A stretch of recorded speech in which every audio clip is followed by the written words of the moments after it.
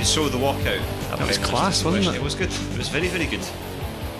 Every news channel that was covering it, everyone cut outside, which was, I mean, brilliant. That they they cut to him. it was outside the front of the Parliament. Everyone's in the background, and it got the agenda on the table because there was no coverage in the media about the EU withdrawal bill that happened the night before. None at all after that. It just I mean, shows you how yeah. fucking awful it is that they have to do something like that to get anything in the media, especially Scotland, that basically there's a massive power grab on what should be new devolved powers. I think they've played the game long enough in the Commons mm-hmm. to to warrant some sort of alternative action. These fucking Tories complaining about, oh, it was staged, it was this going like, have you seen the amount of staged manufactured crap? Like you're you're the most manufactured fucking party in the world. I mean, Ruth Davidson was kicking off about it, going like, you did a photo shoot on top of a fucking tank. I think she's run out of photo shoots. What else can she do? Where'd you go from Buffalo?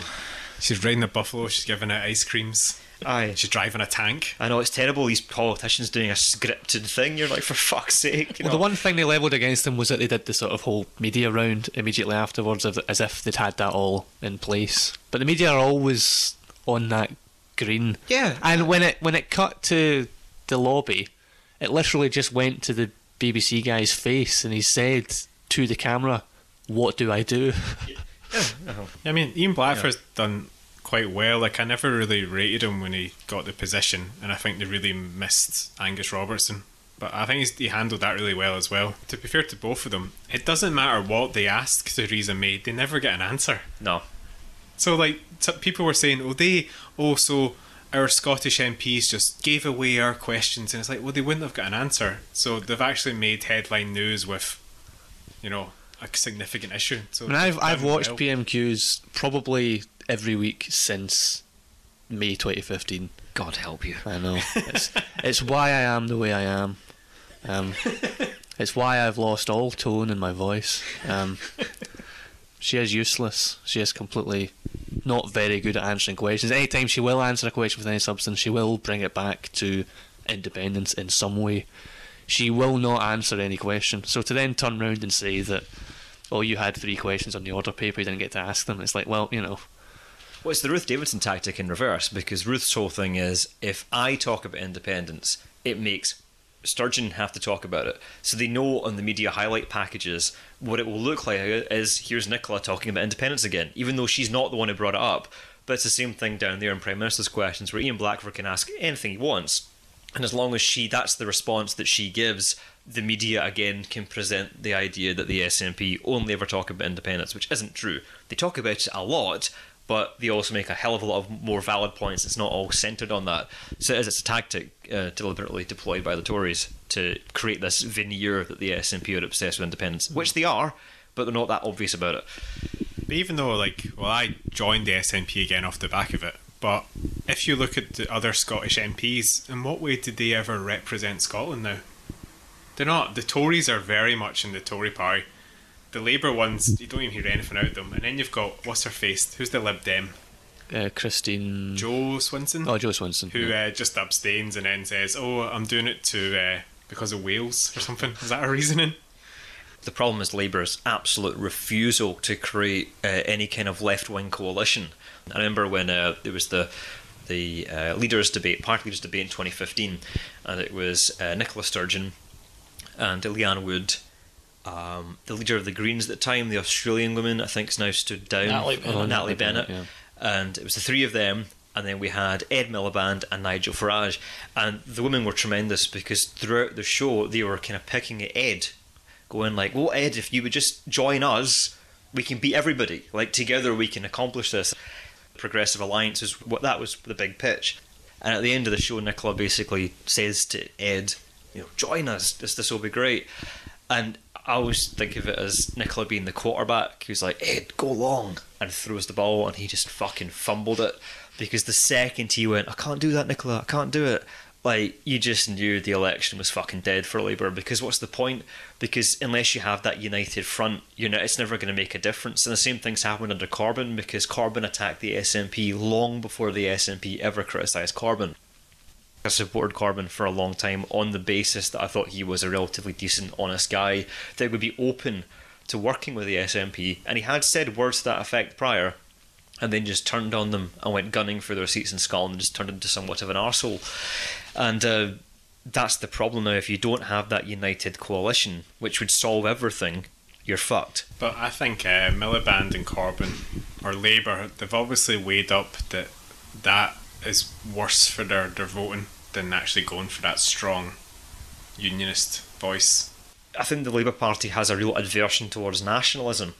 I don't know if that's because the Labour Party is socialist and therefore you have national socialists, not a great combination of words or whatever else it is, but you know, uh, that was the way I always read it. They were very much party before country, I think, um, and they've seemed to have demonstrated that quite spectacularly the last couple of elections. It's all the English electorate's fault, though. Like you get these left-wing English people having a go at us. It's like, how about you get your own country not to vote Tory all the time? it's not our fault.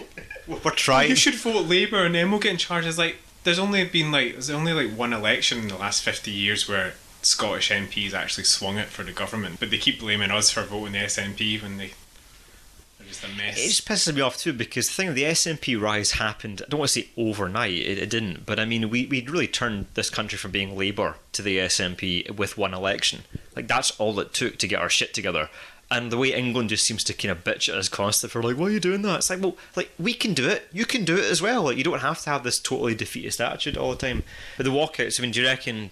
What, so what's the long term effect? You've rejoined the SNP. I have, yeah. So there's a huge spike in membership. Isn't it something insane like eight thousand That's- members or something? What it says over mental? ten thousand. Yeah, it's, I think it must be more than the Tories now, because they were only about four thousand behind. so what's the next move? How do they capitalise on it? Do that every time. Yeah. Just walk out every question time. Fuck this. I mean, the walkout for all, okay, it's garnered the, the public attention that they wanted from it, that we wanted from it. It hasn't really changed the established narrative of Brexit, has it? In the minds of the Tories or whoever's negotiating. It's not really going to really achieve anything. I was just going to say we're kind of saying where's the momentum going, but it's it's kind of stuck just with Brexit because Brexit isn't going anywhere. I still I, I don't know if it's true. I still foresee that the, when when Brexit's clear and what's happening, that's when you might start to see that pick up again. Because people, you're just you're in a limbo. Everyone's in this limbo trying to decide what's going to happen. But within that limbo, they, there's been no sort of impact in terms of the walkout. There's been no indication from the Tories that they're going to pay any heed to respecting devolution or, or whatever. So I think you're right. I think it's going to come to the stage where, come the autumn, when Brexit's more clear than that, that will be the time. I still have doubts Brexit will happen or it will get delayed or pushed forward, as Danny Dyer was saying the other day. This whole Brexit thing, when when when hmm. you know you're judging them on, on, on Brexit, they don't know nothing about it. Who knows about Brexit? Yeah, quite. I, I, no one's got a fucking clue what Brexit is. Yeah, you watch Question Time. It's comedy. Were you no clearer when Jeremy Corbyn No, explained No, I got Labour's the clue. No one knows what it is. It's like this mad riddle that no one knows what it is, right? So what's happened to that twat David oh. Cameron who called it on? Let's be fair. Oh. I think you're referring to our former Prime no. Minister. Yeah, but why, how comes he can scuttle off? He called all this on. Mm-hmm. Yeah. Yeah, He called it has no regrets. Where's he he, where is he? He's in Europe, in Nice, with his trotters up. Yeah. Where is the geezer? I think he should be held accountable for it. Got a big house He should be held You know what? accountable. Where is the twat? It's great. But it just it just shows you how it takes like this a really silly moment like that to sum up the mood of everyone. we kind of level a lot of the blame at the current crop of Tories, yet Cameron and Osborne, who are just as personally responsible for all of this as anyone else, have kind of got away scot free. And I thought I was sitting there thinking, God, that's a good point. That's not one that I've ever actually thought. We've just we've moved so quickly. David Cameron, last I heard of him, he's sitting in a fucking fifty grand shed in his garden writing a book, and you're just going, "This is all your fault, you bastards." It was all for him to like quell this like side of the Tory party, Yeah. and it's just completely depili- And to- the whole country. And to stave off the UKIP vote as well. It goes back further than that because also he was the one that greenlit the 2014 referendum as well. So I mean, if you actually a lot of these questions that didn't even really have to be questions, he made this all an issue. So I mean, if you actually, I reckon historically the breakup of the UK is now inevitable. And when you look back, he will be pinpointed as the reason for it. I think historically he'll be known as the guy that took uh, caused Scottish independence, took the UK out of Europe, and caused the breakup of the UK, ending hundreds of years of, of the United Kingdom through one man's utter pig shagging incompetence, and that I think I, I'm convinced that is how he is going to be remembered, and it's I, why the uh, guy's in fucking hiding because he probably he probably knows himself that is inevitably going to become his legacy. Remember when he, he did his final little talk outside Downing Street and he had that little whistle? As he was going the whole the rest of Britain is just burning and sinking into the the sea.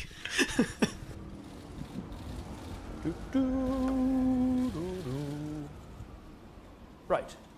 The the situation British politics is in, I find very funny in that you've got Theresa May who is a Remainer trying to push for Brexit when you've got Corbyn pretending he's a Remainer but wants to leave. and at any other time having having a left wing socialist leader of Labour is like the dream apart from now when he's pushing for his own kind of ideological view of getting rid of the EU. It, it really just shows how much a lack of honesty can totally fuck up a country. Two liars, and you know. And then they've got Scotland just in the corner there going, fuck you. Say what you mean, you dicks. yeah. What would happen if Corbyn went hard Brexit and just went fuck it? He just came out of the closet and finally went, you know what? It's a neoliberal shithole and I want out. What would happen? He's pretty much said that in subtle ways, but but not. It, maybe he should be clearer. Actually, the, the other night on the same show, he was he was like, "My Brexit is like out the customs union." Blah blah blah. He's basically saying, "Yeah, I want a hard Brexit." Yeah, he's, he's hedging his bets, isn't he? he doesn't want to lose the the right wing of his party. He still needs them, even if he hates them. And uh, that kind of like sh- shows me that he's not the kind of honest guy that people have assumed that he was. He's full of it when it comes to Brexit. He just, just try to play both sides. That's the worst bit. at all. Yeah, that's the worst bit about him because, like, with Nicola, you can kind of see right off the bat she's quite centrist and balanced and reasonable, and and but she's never really tried to present herself as this wee rebel of the working class socialist front, whatever thing. Whereas with Corbyn, what annoys me about him is the way that he absolutely has presented himself as being that as this great revolutionary saviour, and the minute it's like, right, do it, go on, and nothing, like nothing at all has happened with that. And I think that the S the SNP, I've always, I don't have to agree with them a lot, but I kind of respect them because I don't see them as being charlatans. I think what you see is kind of what you get. Whereas with Corbyn, he is absolutely capitalised on the back of something that he is absolutely not. Like he has played this punk socialist character, and when it's actually come down to crunch time, he's just not delivered, and that really know. I've, sucks. I've said it on this podcast before, but Corbyn should just lie. Like, like no, no, but like it's like, everyone lies. Like it should just be like, oh yeah, no, um, we're the party of Remain. Uh, we'll have another election, and then once he gets in power, just go. Actually, I'm going to respect the vote of the people. But, but why can't he That's just not what I want. He should just do it. Or, or he he wouldn't even have to lie. He could just stand up and go, you know what, actually, at one time I did just think that the EU was this horrible neoliberal nightmare. Actually, now, though, I've learned quite a lot about it and I've understood that I was wrong. What, that was like a three second thing to say into a camera, and boom, your problem's fucking solved. But this kind of like, oh, I might be for leave, oh, I might be for remain. Like, that's, I don't understand. It's that kind of, uh, You should just be totally Thing. honest and Yeah. be like, listen, we're all like really ugly and pale, and uh, Europeans are sexy, and so we're we're going to stay in the EU. People just need to be told that we're all ugly and we need to mix up the gene pool, and that's a vote winner. Absolutely, yes. I want, I want us all, the human race should all turn into a big, sexy shade of brown. That's my, my long term ambition for it. I think racism is the one problem we should be able to fuck our way out of. That's my plan. For Corbyn to come out and support Remain, even disingenuously, would suppose that the electorate in the rest of the UK certainly would vote Remain again. I don't think they fucking would. I think the reasons why they voted Leave in the first place would be the reasons why they vote Leave in the second place. Even Yeah, if, that's what I even if they with that. know it's going to be a total economic shitstorm.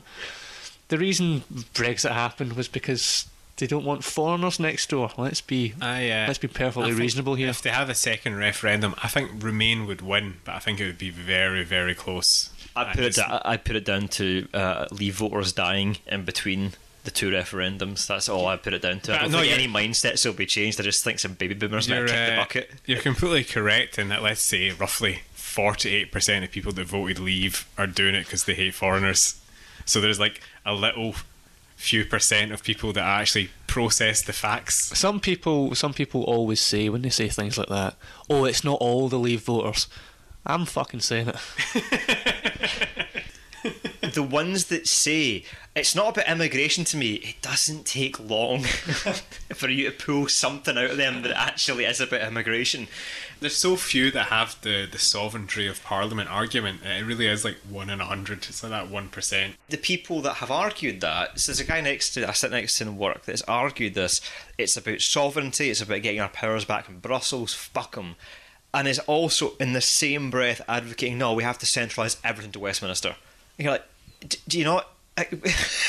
Where is the consistency of logic in this? Because the people that are for yes and also for Brexit, I have a level of sympathy with. Because if you want to argue that, I just want to get power down to the smallest level possible. Fuck all the government, get rid of it. I actually think that I can see a logic thread there. The ones that I do not understand is the fuck centralising power to Brussels, but it's fine to do that at Westminster. I don't understand where the fuck these people are coming from with that.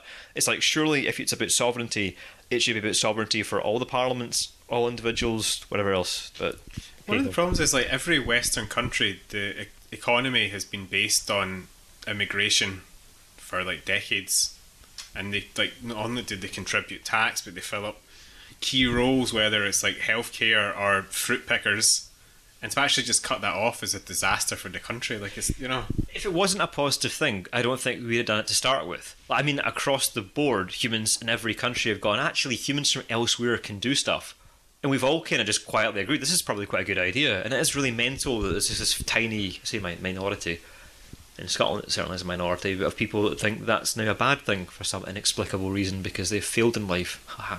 Yeah, it was the main reason I didn't vote actually, because I was I'm more on the kind of leave side, you know, in terms of like the economics and the well, not really the sovereignty thing, but just like getting rid of an extra parliament. that I think is like unnecessary.